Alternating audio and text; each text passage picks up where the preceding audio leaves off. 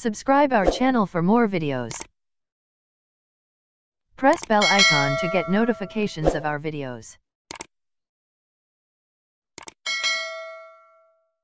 नमस्कार दोस्तों, स्वागत है आपका हमारे YouTube चैनल महेश प्रजापति में। आज हम करने वाले हैं टेंथ क्लास का हिंदी मीडियम का अलजेब्रा का फोर्थ लेसन, आर्थिक नियोजन का एक्सरसाइज 4.4 4.4 4.4 है, उसमें हम म्यूचुअल फंड एसआईपी के बारे में देखने वाले हैं। म्यूचुअल फंड क्या होता है एसआईपी क्या होता है, उसकी पूरी इन्फॉर्मेशन के लिए मैं एक सेपरेट वीडियो बना दूँगा, जिसका लिंक जल्द ही आपको डिस्क्रिप्शन बॉक्स में मिल जाएगा। यदि आप हमारे चैनल पर नए हैं तो हमारे चैनल को सब्सक्राइब कर लीजिए और साइड में दी गई बेल बटन ज़रूर दबाइए, जिससे कि आने वाले एजुकेशनल मोटिवेशनल और एजुकेशनल टिप्स की वीडियो लगातार आपको मिलती रहे। यदि आप हिंदी मीडियम में हैं तो हमारे इस ऐप को ज़रूर डाउनलोड करिए। इस ऐप में आपको चैप्टर जिब्रा और ज्योमेट्री के चैप्टर से चैप्टर वाइज और साथ साथ में प्रैक्टिस के सारे के सारे वीडियो के सॉल्यूशन मिल जाएगा। तो उसको आप गूगल प्ले स्टोर से डाउनलोड कर सकते हैं। ये तो चलिए स्टार्ट करते हैं आज की वीडियो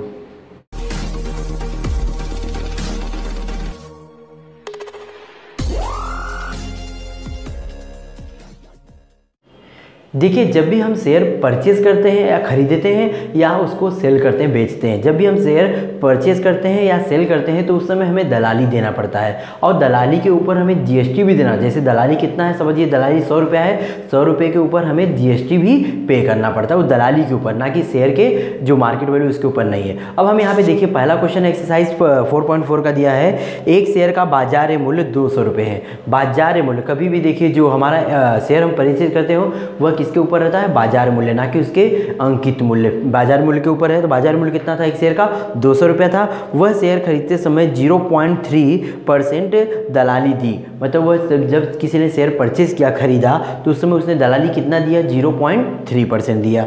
तो शेयर का क्रय मूल्य कितना होगा? देखिए, जब परचेज करते समय है परचेज कर रहे हैं तो जो शेयर का बाज़ार मूल्य होगा तो होगा। प्लस दलाली भी तो एक्स्ट्रा जुड़ जाएगी तो मतलब शेयर का रेट क्या हो जाएगा? बढ़ जाएगा। तो यहाँ पे हम क्या करेंगे? जो बाज़ार मूल्य है, उसमें दलाली जोड़ देंगे तो शेयर का जो क्रय मूल्य है, वह बढ़ जाएगा। और जब बेचते हैं तो उस समय क्या होता है, घट जाता है। सपोज़ करिए, मैंने किसी को सौ से सौ रुपये की शेयर बेच दिए, लेकिन दलाल के थ्रू बेची तो दलाल भी तो अपना पैसा ले जाएगा तो सौ रुपये का मैंने बेचा, लेकिन दलाल अपना दो रुपया, तीन रुपया लेके जाएगा। मतलब मुझे अगर दो रुपया ले गया तो नाइन्टी एट रुपीज़ मिलेगा। इस तरह वहाँ पे क्या है, शेयर आप बेचते हैं, खरीदते समय, ध्यान देना है आपको कि बेचते समय क्या होता है उस समय हमारा अमाउंट कम हो जाता है और खरीदते समय अमाउंट जो शेयर का वैल्यू होता है, बढ़ जाता है मतलब ज़्यादा महँगा पड़ता है हमें। तो यहाँ पहले क्वेश्चन में क्या किया है, यहाँ पे खरीद रहा है तो खरीदते समय उसकी वैल्यू क्या हो जाएगी? बढ़ जाएगी। दो सौ रुपया है प्लस दलाली की दर भी, दलाली भी उसमें जोड़ देते हैं हम। तो चलिए लिखते हैं यहाँ पे। पहले हम लिखते हैं शेयर का बाज़ार मूल्य।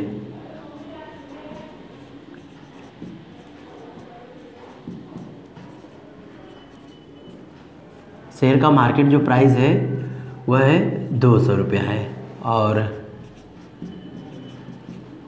दलाली की दर ज़ीरो पॉइंट थ्री परसेंट। और ये दलाली किसके ऊपर? दो सौ रुपये के ऊपर लगेगी तो हम दलाली यहाँ निकाल लेंगे। इसको ब्रोकरेज कहते हैं। दलाली इज़ इक्वल टू दो सौ का ज़ीरो पॉइंट थ्री परसेंट। दो सौ बूढ़े zero point three upon hundred. Zero से ज़ीरो कैंसिल, ज़ीरो से ज़ीरो कैंसिल।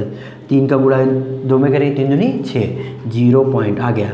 ज़ीरो पॉइंट छः। लेकिन छः नहीं लिखते हैं बल्कि क्या लिखते हैं? छः ज़ीरो। Six six zero. मतलब सिक्सटी पैसा। अब यह यह अमाउंट इसमें क्या हो जाएगा? जुड़ जाएगा। क्योंकि जब खरीद रहे तो उस समय रेट क्या होता है? बढ़ जाता है क्रय मूल्य। तो लिखेंगे, क्या पूछा था वहाँ पे? तो शेयर का क्रय मूल्य। तो लिखेंगे शेयर का क्रय मूल्य। शेयर का क्रय मूल्य बराबर, इसमें दो चीज़ें, एक बाज़ार मूल्य प्लस दलाली। दलाली जितनी थी, उसको हम इसमें क्या करेंगे? जोड़ देंगे। दलाली कितनी थी? Zero point six zero. बाज़ार मूल्य कितना है? दो सौ plus zero point six zero. आ गया rupees two hundred point six zero. पैसा मतलब कि दो सौ दो सौ रुपया साठ पैसा। इस तरह हमने यहाँ पे एक बाज़ार एक जो शेयर है, उसका क्रय मूल्य ज्ञात कर दिया। क्वेश्चन नंबर दो हमारा है, एक शेयर का बाज़ार मूल्य हज़ार रुपया है। एक ही शेयर का बाज़ार मूल्य कितना है? हज़ार रुपया था। जब वह बेचा गया, जिस पर 0.1 परसेंट दलाली दी गई। अब देखिए, यहाँ पे दलाली दी गई मतलब कि हज़ार रुपया उसका तो बाज़ार मूल्य है, लेकिन दलाल अपना 0.1 मतलब उसका 0.1 परसेंट ले जाएगा तो क्या हो जाएगा उसकी जो बिक्री मूल्य हो जाएगी, जो विक्रय मूल्य हो जाएगा, क्या हो जाएगा? कम हो जाएगा। सेम इसी तरह आपको निकालना है, यहाँ बाज़ार मूल्य कितना दो सौ था, वहाँ बाज़ार मूल्य कितना है? हज़ार है। यहाँ पे दलाली दर ज़ीरो तो वहाँ पे दलाली दर कितनी है? ज़ीरो है। वहाँ दलाली आप निकाल लेंगे। दलाली निकालने के बाद आपको क्या करना है? शेयर का विक्रय मूल्य निकालना। क्रय मूल्य नहीं, विक्रय मूल्य निकालते समय जो बाज़ार का मूल्य उसमें दलाली क्या होती है? माइनस हो जाती है। जो हमें अमाउंट मिलता है, उसमें से दलाली कम हो जाती है। मतलब क्या करना आप लोग? बाज़ार मूल्य में से दलाली को माइनस कर दें। हज़ार रुपये में से ज़ीरो पॉइंट वन परसेंट जो दलाली आई होगी, उसको माइनस कर देंगे तो उसके शेयर का जो विक्रय मूल्य है, ज्ञात हो जाएगा। आप इसको खुद से ट्राई करिए, बहुत ईजी है। केवल एक है, ध्यान देना आपको, वहाँ पे क्या करना रहेगा? माइनस। यहाँ पे क्या है? प्लस खरीदते समय प्लस करना और बेचते समय दलाली माइनस करना होता है। तो क्वेश्चन नंबर टू आप खुद से ट्राई करिए। क्वेश्चन नंबर थर्ड देखते हैं। क्वेश्चन नंबर थर्ड हमारा देखिए क्या है? निम्नलिखित शेयर क्रय विवरण पत्र के रिक्त स्थानों की पूर्ति कीजिए। बी मीन्स खरीदे और एस मीन्स बिक्री किया। मतलब बी मीन्स बाय और एस माने सेल किया। यहाँ पे देखिए दिया है। पहला हमारा क्या है? सौ शेयर को उन्होंने क्या किया? बाय किया। मतलब खरीदा है। खरीदेंगे तो उसमें रेट क्या हो जाएगा? बढ़ जाएगा। मैंने बताया तो उसके ऊपर क्या क्या लगेगा? दलाली लगेगा। प्लस साथ साथ में यहाँ पे दलाली के ऊपर क्या लगेगा? सी जी एस टी और एस जी मैं आपको निकाल के बताऊँगा शेयर का कुल कीमत कितनी हो जाएगी? वह हमें ज्ञात करना है। और क्वेश्चन नंबर दो है उसकी। के नीचे ही सेवेंटी फाइव शेयर उन्होंने क्या किया है? सेल किया है। और उसको एक शेयर का मूल्य दिया था दो सौ रुपया तो यहाँ टोटल इस कितनी सेवेंटी फाइव शेयर उन्होंने क्या किया है? सेल किया है। तो कुल शेयर का मूल्य निकालना है, दलाली भी निकालना है, और दलाली के ऊपर C G S T S G S T और बाद में शेयर की कीमत कितनी थी, वह बतानी है। तो देखिए फ़र्स्ट क्वेश्चन इसमें देखते हैं हम। यहाँ पे टोटल शेयर की संख्या कितनी वो लिख देते हैं। स्टेज वाइज निकालते हैं। शेयर्स की संख्या। पहले वाले शेयर, पहले वाला जो सवाल है, उसमें कितने शेयर्स हैं? सौ शेयर्स हैं। यहाँ पे उन्होंने क्या किया है? बाय किया मतलब ख़रीदा है। और शेयर का बाज़ार मूल्य। एक, शेयर का बाज़ार मूल्य दिया है फोर्टी फाइव रुपीज़। एक शेयर का बाज़ार मूल्य कितना है? पैंतालीस रुपये है तो सौ शेयर का कितना हो जाएगा? गुड़ा कर देंगे। लास्ट में लिख देंगे, शेयर का कुल बाज़ार मूल्य लिख देते हैं बस। कुल बाज़ार मूल्य। किसका? शेयर का। इज़ इक्वल टू पैंतालीस बुढ़े सौ इज़ इक्वल टू रुपीज़ चार हज़ार पाँच सौ। चार हज़ार पाँच सौ का उन्होंने टोटल शेयर परचेज़ किया। अब उसके ऊपर क्या बोल रहे हैं? शेयर की शेयर की तो कीमत आ गई। उसके बोल रहे हैं, दलाली की दर, दलाली की दर दी गई है, दलाली हम निकालते हैं। तो लिखेंगे यहाँ पे, दलाली की दर ज़ीरो पॉइंट टू परसेंट। यह दलाली की दर है तो हमें दलाली किस पे निकालना पड़ेगा? बाज़ार मूल्य पे। तो लिखेंगे हम, दलाली। दलाली बराबर चार हज़ार पाँच सौ का ज़ीरो पॉइंट टू परसेंट। चार हज़ार पाँच सौ गुड़े ज़ीरो पॉइंट टू बटे में कितना? सौ। ज़ीरो से ज़ीरो कैंसिल, ज़ीरो से ज़ीरो कैंसिल। अब हम क्या करेंगे? पैंतालीस गुड़े ज़ीरो पॉइंट टू कर देते हैं। पाँच दुनी दस को ज़ीरो, और चार दुनी आठ आठ एक नौ। Nine point zero. लेकिन नाइन पॉइंट ज़ीरो लिखने की ज़रूरत नहीं है, क्या लिख सकते हैं हम? नाइन लिख सकते हैं और वो भी क्या आएगा? रुपीज़ में। मतलब दलाली कितना है? नौ रुपया। दलाली पता चल गया। यहाँ पे आप अमाउंट जो भी ब्रैकेट दिया, उसको फिल करिए। बाद में बताता हूँ मैं कैसे फिल करना है। पहले हम सारा का सारा आंसर निकाल लेते हैं। देखिए, आगे क्या बोल रहा है? दलाली पर सी जी एस टी नौ परसेंट है। मतलब जो दलाली थी दलाली के ऊपर हमें कितना है? नौ percent C G S T देना है। तो दलाली के ऊपर निकालेंगे, ना कि बाज़ार मूल्य में ध्यान दीजिएगा, बच्चे कन्फ्यूज़ आते हैं। किसके ऊपर दलाली देना हमें? ये जो हमारी दलाली नौ परसेंट थी, नौ नौ रुपये थी, उसके ऊपर देना है। तो लिख लेंगे हम यहाँ पे, दलाली पर सी जी एस टी दर बराबर नौ परसेंट। अब हम इसके ऊपर क्या करते हैं, नौ percent C G S T निकालते हैं। तो C G S T is equal to नौ रुपये का नौ परसेंट। नौ गुड़े नौ बटे में सौ। नौ का नौ में इक्यासी हो जाएगा? बटे में सौ। सौ से भाग देना आसान होता है। कितना ज़ीरो है? दो ज़ीरो है ना? पीछे से दो अंक एक दो। दो अंक के बाद क्या लगा है? दशमलव। मतलब ज़ीरो पॉइंट एट वन। ये रुपीज़ में आएगा तो यहाँ लिख देंगे हम। हो गया? ये हमारा क्या हो गया? सी जी एस टी की रकम हो गई। अब वहाँ पे क्या पूछा है, यस जी एस टी भी नौ परसेंट। अगर C G S T zero point eighty one आएगा तो यस जी एस टी भी कितना आएगा? सेम आएगा। So therefore S G S T is equal to rupees zero point eight one अब लास्ट में क्या पूछा है? शेयर्स की कुल कीमत। कुल कीमत अब कैसे हो जाएगी? देखिए, जो बाज़ार मूल्य था, वह तो था ही साथ साथ में दलाली प्लस यह दोनों भी क्या हो जाएगा? उसके अंदर जुड़ जाएगा, क्योंकि वो क्या कर रहे हैं? परचेस कर रहे हैं। अगर सेल करते तो यह प्लस यह प्लस यह तीनों को हम क्या कर देते? माइनस कर देते। लेकिन अगर परचेस कर रहे हैं तो इसको और इसको इसको हम क्या करेंगे? चार हज़ार पाँच सौ में जोड़ देंगे। तो लिखते हैं हम यहाँ पे। शेयर्स का मूल्य, शेयर्स की कुल कीमत। शेयर्स की कुल कीमत बराबर, अब इसमें क्या चीज़ रहेगा? चार हज़ार पाँच सौ बाज़ार मूल्य रहेगा, प्लस दलाली नौ परसेंट, प्लस उसके ऊपर जीएसटी जो है सी जीएसटी और एस जी एस टी वो भी लिख देंगे। Zero point N eight one plus zero point eight one सबको जोड़ देंगे तो आएगा चार हज़ार पाँच सौ दस रुपया पॉइंट दस पॉइंट सिक्स टू पैसे। मतलब यह रुपये में आ गया। इस तरह हमने यहाँ पे क्वेश्चन नंबर जो थर्ड था, उसका फ़र्स्ट हमने निकाल दिया। अब क्वेश्चन नंबर सेकंड भी आपको समझाते क्वेश्चन नंबर जो सेकंड है, वहाँ पे क्या था? वहाँ पे सेल करना था ना कि खरीदना है। सेल करना है तो उसमें से क्या करना पड़ेगा? आपको सेम इसी तरह दलाली निकालनी पड़ेगी। उस दलाली के ऊपर जी एस और एस जी निकालना पड़ेगा। तो जो भी वहाँ पे मार्केट वैल्यू होगी, बाज़ार मूल्य होगा, उसमें से आपको दलाली plus C G S T plus S G S T इन दोनों को, तीनों को क्या करना पड़ेगा? माइनस करना पड़ेगा। तीनों को माइनस कर देंगे तो जो शेयर का जो मूल्य है, वह ज्ञात हो जाएगा। तो मैं बता दे रहा हूँ, थोड़ा समझा देता हूँ आपको। पचहत्तर शेयर की संख्या कितनी थी, सेवेंटी फाइव थी और एक बाज़ार का मूल्य कितना, एक एक शेयर का मूल्य कितना था? दो सौ। मल्टीप्लाई कर देंगे तो शेयर का कुल मूल्य ज्ञात हो जाएगा। अब दलाली हमें किसके ऊपर निकालना है? बाज़ार मूल्य। जो हमने बाज़ार मूल्य ज्ञात किया, उसके ऊपर ज़ीरो दलाली ज्ञात कर देंगे। उस दलाली के ऊपर हमें सी और एस जी कितना निकालना है? नौ परसेंट। और एस जी सेम रहेगा। अगर सी जितना आएगा, उतना ही नौ जी एस टी फिर लास्ट में हमें क्या रहेगा? शेयर की कीमत लिखेंगे लास्ट में, शेयर की कीमत बराबर जो भी बाज़ार मूल्य रहेगा, उसमें से आप क्या करना, इन तीनों अमाउंट को जोड़ देना एक साथ में माइनस कर देना। या तो यह माइनस यह माइनस या तीनों लिखेंगे तो भी एक साथ में चलेगा। मतलब कि आपका जो भी बाज़ार मूल्य रहेगा, उसमें से हमें दलाली और सी जी एस टी और यस जी एस टी तीनों एक साथ में क्या कर देंगे माइनस कर देंगे। तो क्वेश्चन नंबर सेकंड को आप ट्राई करिए, बहुत ईजी है। क्वेश्चन नंबर फोर हमारा है। श्रीमती देसाई ने सौ रुपये अंकित मूल्य के शेयर्स बाज़ार मूल्य पचास रुपये होने पर बिक्री की, तब उन्हें forty nine hundred eighty eight मतलब चार हज़ार नौ सौ अठहत्तर रुपया बीस पैसे प्राप्त हुए। दलाली का दर ज़ीरो पॉइंट टू परसेंट तथा दलाली पर जीएसटी की दर अठारह परसेंट हो तो उन्होंने कितने शेयर्स बिक्री की ज्ञात कीजिए। देखिए, यहाँ पे क्या है? शेयर्स की संख्या ज्ञात करना है। शेयर्स की संख्या ज्ञात करने के लिए हमें क्या होगा?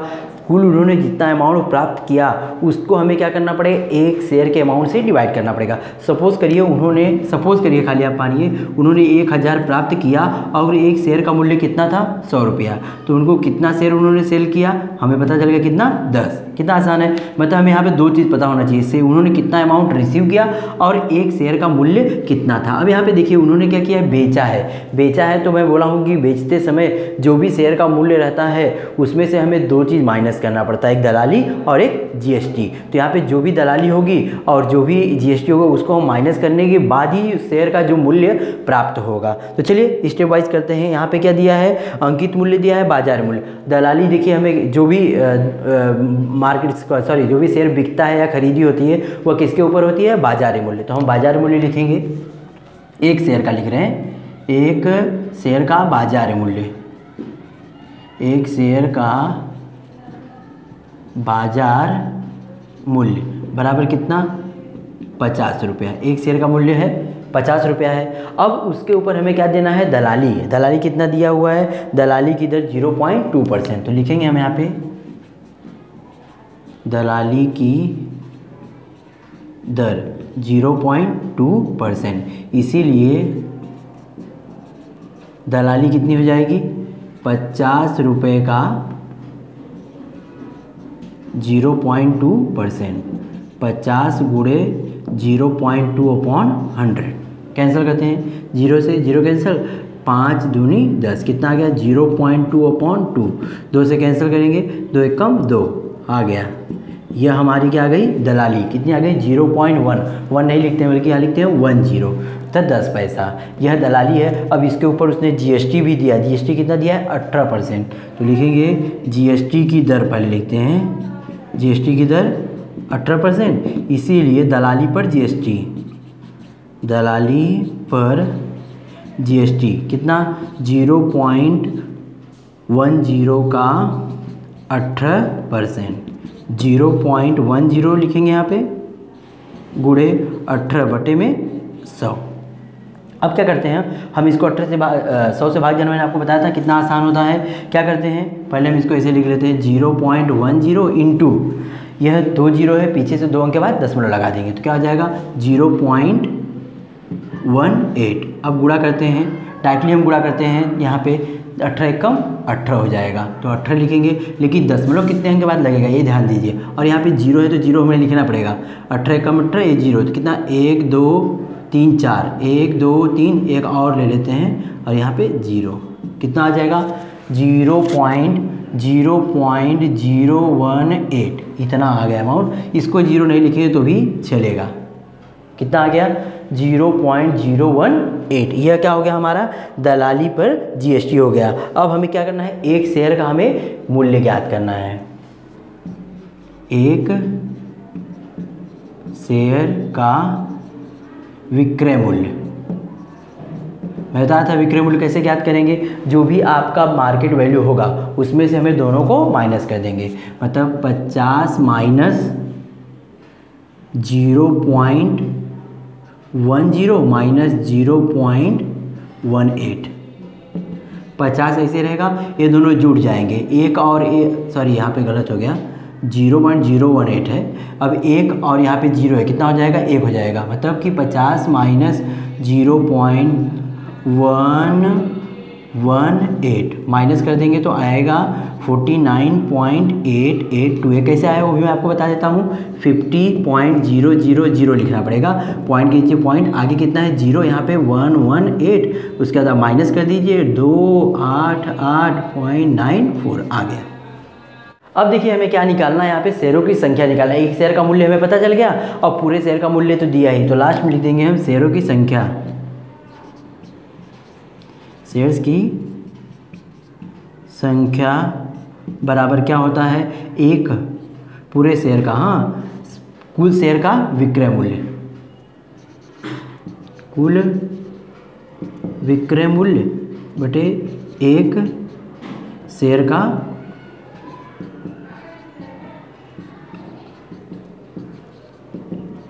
विक्रय मूल्य।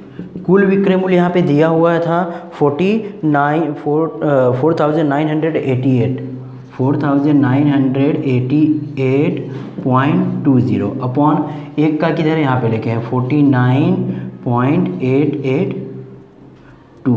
अब हमें देखिए क्या करना है। अभी पॉइंट रिमूव करने के लिए ऊपर कितने हैं? एक, दो दो अंक के बाद दशमलव है, नीचे कितने हैं? तीन। मतलब तीन अंक के बाद कितने? हज़ार से पूरा ऊपर करेंगे, हज़ार से नीचे। हज़ार से ऊपर करेंगे तो four nine eight eight two zero दोनों दशमलव हट जाएगा, लेकिन एक ज़ीरो एडवांस में लग जाएगा। यहाँ पे क्या करेंगे? दशमलव पूरा हट जाएगा। Four nine eight eight two अब इसको हम कैंसिल करेंगे तो ऊपर कितना बचेगा? दो ज़ीरो बच जाएगा मतलब हंड्रेड बचेगा। मतलब कितने सेल्स हो गई? उनके पास हंड्रेड शेयर मतलब उन्होंने हंड्रेड शेयर्स बेचा है। तो यहाँ पे आंसर लास्ट में आप लिख दीजिएगा। यहाँ पे पूछा था कि उन्होंने कितने शेयर्स की बिक्री की। तो लास्ट में लिखिए, इसीलिए मिसेस श्रीमती देसाई ने कुल सौ शेयर्स की बिक्री की। इस तरह यहाँ पे क्वेश्चन नंबर फोर हमने कंप्लीट कर दिया। भाई हमारा है मिस्टर डिसूजा ने पचास रुपये अंकित मूल्य के 200 शेयर सौ रुपये अधि मूल्य पर खरीदी किया। मतलब कि अंकित मूल्य कितना था? पचास था, लेकिन अधि मूल्य उन्होंने कितना दिया? सौ रुपया। मतलब उनकी बाज़ार, जो बाज़ार मूल्य कितना हो जाएगा? डेढ़ सौ रुपया हो जाएगा। और उन्होंने कितना शेयर परचेज किया है? दो सौ शेयर परचेज किया है। तो टोटल उनका इन्वेस्टमेंट कितना हो जाएगा?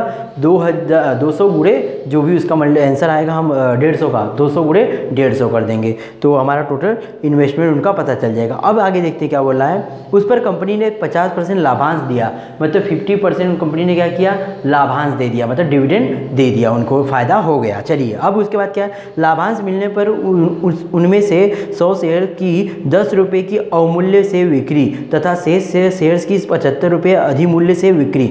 मतलब उनके पास 200 शेयर थी तो एक बार तो डिविडेंड मिल गया, एक बार तो पैसा उनके पास आ गया। तो उनके मन में विचार आया तो उन्होंने क्या किया? सौ शेयर्स को कम करके, रे मतलब पचास रुपये में उसका अंकित मूल्य था, उसको दस रुपये कम करके उन्होंने बेच दिया। अब बची उनके पास कितनी? सौ शेयर्स बची। और सौ शेयर्स का उन्होंने सोचा कि उन्हें रेट बढ़ा दिया जाए। तो पचहत्तर रुपया बढ़ा करके उसको सौ शेयर्स को और उन्होंने बेच दिया। अब प्रत्येक व्यवहार में बीस रुपये दलाली दिया और जितना भी व्यवहार कर रहे हैं मतलब उन्होंने एक बार खरीदा, एक बार एक बार सौ बेचा, एक बार सौ बेचा। जितना भी बार खरीदेंगे परचेज करेंगे या बेचेंगे तो उसमें वो ध्यान देंगे कि हर बार क्या करना पड़ता है? दलाली देना पड़ता है। तो दलाली कितना दिया उन्होंने? हर बार बीस रुपया दिया। तो उन्हें इस व्यवहार में लाभ हुआ या हानि? कितने रुपया हुआ यह ज्ञात करिए। तो बहुत ही आसानी इसको ध्यान से देखिए, आपको आसानी समझ आए पहले हमें क्या करना है? उनका टोटल इन्वेस्टमेंट मतलब टोटल उनका कितना इन्वेस्टमेंट हुआ, वह पहले निकालते हैं। तो चलिए लिखेंगे हम यहाँ पे, बाज़ार का, बाज़ार पहले क्या लिखेंगे? अंकित मूल्य।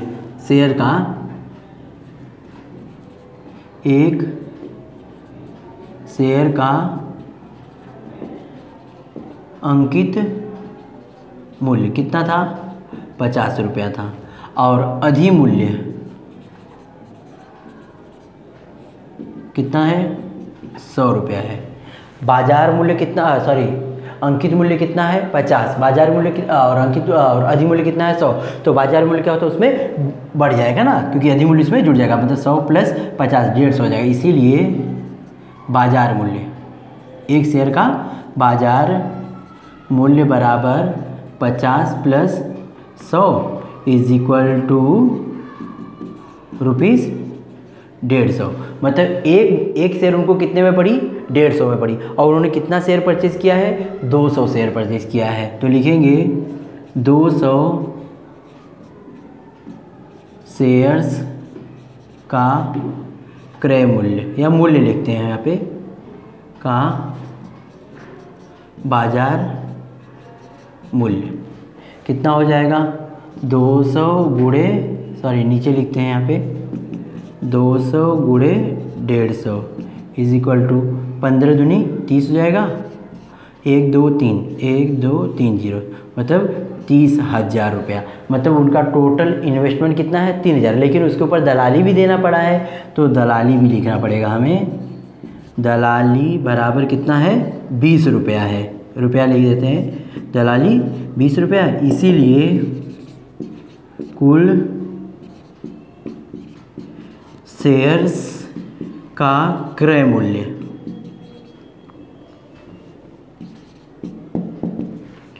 तीन हज़ार सॉरी तीस हज़ार प्लस बीस इज़ इक्वल टू तीस हज़ार बीस रुपया। यह टोटल उनका क्या हो गया? इन्वेस्टमेंट हो गया। टोटल उन्होंने कितना इन्वेस्ट किया? तीस हज़ार बीस रुपया इन्वेस्ट किया। अब कंपनी ने क्या डिसाइड किया है कि पचास परसेंट क्या देगी? लाभांश। तो लिखेंगे हम यहाँ पे। लाभांश बराबर कितना है? फिफ्टी परसेंट दिया है। कंपनी ने कितना दिया है? फिफ्टी परसेंट दिया है। अब ये फिफ्टी परसेंट किसका देगी? अब शेयर्स का निकालें उन्होंने कितना शेयर परचेज किया है? तीन सॉरी शेयर की संख्या कहाँ पे है? यहाँ पे, सौ शेयर्स परचेज किया है ना? तो हम लोग सॉरी यहाँ पे दो सौ शेयर है। तो दो सौ शेयर के ऊपर उन्होंने क्या मिलेगा उनको? पचास परसेंट डिविडेंड मिलेगा। लेकिन डिविडेंड किसके ऊपर मिलता है? अंकित मूल्य पे मिलता है। तो हम लिखेंगे एक एक जो शेयर है उसका लाभांश। एक शेयर पर एक शेयर पर प्राप्त लाभांश। कितना हो जाएगा? एक शेयर का मूल्य कितना था? अंकित मूल्य पचास। पचास रुपये का पचास परसेंट। यही होगा। ज़ीरो ज़ीरो कैंसिल, ज़ीरो से ज़ीरो कैंसिल, पाँच पच्चीस पच्चीस। मतलब एक जो शेयर है, उसके ऊपर उनको कितना मिलेगा? पच्चीस रुपया मिलेगा। एक शेयर पे उनको कितना मिला है? पच्चीस रुपया। उन्होंने कितना शेयर कितना शेयर खरीदा था? दो सौ। तो कितना हो जाएगा? मल्टीप्लाई कर देते हैं। इसीलिए कुल शेयरों पे, कुल शेयर्स पर प्राप्त लाभांश बराबर दो सौ गुड़े पच्चीस इज़ इक्वल टू कितना आ गया? रुपीज़ पाँच दूनी सॉरी पच्चीस दूनी पचास। पाँच हज़ार रुपया। इसको हम ना देखिए पॉइंट वाइज रखेंगे तो फिर बेटर रहेगा, क्योंकि बस आपको लास्ट में समझाने में इजी रहेगा, क्योंकि उनको लाभ हुआ कि हानि हुआ इसको पॉइंट नंबर वन डाल के रखिए और इसको पॉइंट नंबर टू क्योंकि यहाँ पे उनको, अब देखिए, उन्होंने टोटल इन्वेस्टमेंट कितना किया? इन्वेस्ट कितना किया? तीस हज़ार बीस रुपया। और उन्होंने पहली बार में लाभांश उनको कितना मिल गया? अभी पाँच हज़ार मिल गया। अब उनके मूड में आया कि अभी क्या करना है? शेयर को सेल कर देना। तो उन्होंने फिफ्टी जो फिफ्टी परसेंट शेयर्स हैं मतलब उनकी टोटल सौ शेयर दो सौ शेयर थी तो उन्होंने सौ शेयर्स क्या किया? सेल कर दिया। लेकिन सेल कैसे किया? उसका अवमूल्य करके मतलब पचास रुपये का, पचास रुपये अंकित मूल्य था, उसमें दस रुपये उन्होंने कम करके। तो लिखेंगे यहाँ पे, सौ शेयर्स का विक्रय मूल्य।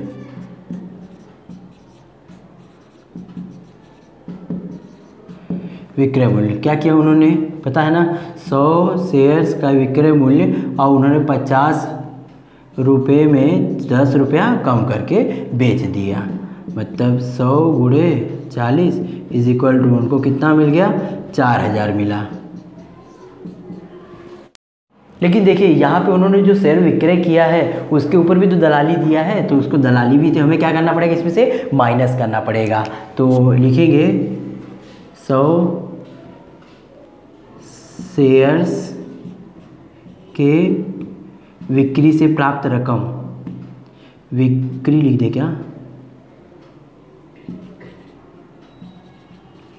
विक्री से प्राप्त रकम। कितनी मिली उन्हें? चार चार हज़ार था ही। प्लस दलाली उनको कितना देना पड़ेगा? बीस रुपये देना पड़ेगा। मतलब उनको three nine nine sorry eight zero. ये इतना रुपया उनको मिलेगा। यह हम पॉइंट नंबर थर्ड रखते हैं। यहाँ पे देखिए दो बार पैसा मिलेगा। एक बार तो क्या है कंपनी ने उनको पाँच हज़ार दे दिया, एक बार उनके मन में आया, सौ शेयर उन्होंने बेच दिया और भी दस रुपये कम करके, पचास रुपये अंकित मूल्य, दस रुपये कम करके चार हज़ार रुपये में बेच दिया और उसके बीस रुपये दलाली मतलब चार तीन हज़ार नौ सौ अस्सी रुपया मिल गया। दो बार उनको पैसा मिल चुका है। अब उनके पास कितनी शेयर बची हैं? पचास सॉरी सौ शेयर और बची हैं। तो सौ शेयर को उन्होंने क्या किया? पचहत्तर रुपया अधिमूल्य लेकर के बेच दिया। तो लिखेंगे सौ बची सौ शेयर। सौ नहीं लिखना है, बचे हुए सौ हाँ। बचे सौ शेयर्स का विक्रय मूल्य। इन्होंने क्या किया? सौ शेयर को उन्होंने बेचा, लेकिन उसके ऊपर कितना अधिमूल्य लिया? पचहत्तर रुपया। मतलब पचास रुपया था ही प्लस पचहत्तर रुपया और ले लिया। मतलब सौ गुड़े एक सौ पच्चीस। तो आ जाएगा गुड़ा कर देंगे one, two, five, zero zero मतलब बारह हज़ार पाँच सौ रुपया उनको यहाँ पे मिल गया। लेकिन यह अमाउंट मिलेगा, इसके ऊपर भी उन्हें क्या देना पड़ेगा? दलाली देना पड़ेगा। मतलब बीस रुपये इसमें से भी क्या करना पड़ेगा? माइनस करना पड़ेगा। तो लिखेंगे, सौ शेयर्स के विक्री से प्राप्त रकम, बराबर। इसमें क्या होगा? बारह हज़ार पाँच सौ माइनस में से हमें क्या करना पड़ेगा? बीस। तो आ जाएगा बारह हज़ार चार सौ अस्सी रुपया। ये हमारा पॉइंट नंबर फोर होगा। अब देखिए, उन्होंने कितना खरीदा, कितने का था? तीन, तीस हज़ार बीस रुपया लगाया था। और उनको तीन बार यहाँ फ़ायदा हो चुका है। एक बार पचास हज़ार रुपया पाँच हज़ार फ़ायदा हुआ है। एक बार तीन हज़ार नौ सौ अस्सी रुपया फ़ायदा हुआ है। एक बार बारह हज़ार चार सौ अस्सी रुपया फ़ायदा हुआ मतलब तीन बार उनको पैसा मिला है। पूरी शेयर उनकी बिक गई है। तो यह क्या करेंगे? यह जो अमाउंट है, उनका फ़ायदा वाला है और यह उनका इन्वेस्टमेंट है। अब इसमें से, इन दोनों, इन तीनों को हम जोड़ देंगे और इसमें से माइनस कर देंगे तो पता चल जाएगा उनको प्रॉफिट हुआ है कि लॉस हुआ है। अगर ये तीनों अमाउंट जोड़ के ज़्यादा होता है तो समझ जाइए उनको प्रॉफिट होगा। और तीनों अमाउंट जोड़ के समझिए तीस हज़ार से कम है तो समझ जाइए उनको नुकसान हुआ है। अब क्या करेंगे हम? यहाँ पे देखिए, यहाँ पाँच हज़ार मिला है, यहाँ पे अमाउंट मिला है, यहाँ तीनों अमाउंट को हम जोड़ देंगे। मतलब उनकी कुल उन्होंने रकम प्राप्त की। तो लिखेंगे हमें यहाँ पे, कुल प्राप्त रकम बराबर पहला पाँच हज़ार मिला है प्लस तीन हज़ार नौ सौ अस्सी मिला है प्लस बारह हज़ार चार सौ अस्सी मिला है। यह टोटल अमाउंट हो जाएगा रुपीज़ इक्कीस हज़ार चार सौ साठ रुपया। इक्कीस हज़ार चार सौ साठ उनको मिला ही। है पॉइंट नंबर हम डाल देते हैं, इसको पॉइंट नंबर हमारा फाइव हो जाएगा।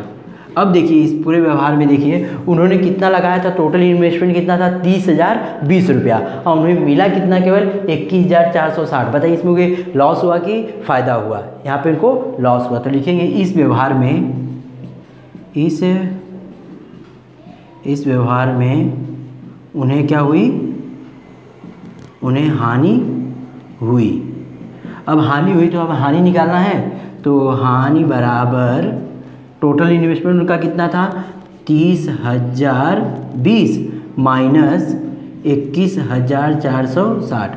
माइनस करने के तो आएगा आठ हज़ार पाँच सौ साठ। मतलब उनका कितना नुकसान हुआ? आठ हज़ार पाँच सौ साठ रुपये का नुकसान हुआ। इस तरह यहाँ पे क्वेश्चन नंबर फाइव हमने कंप्लीट कर दिया।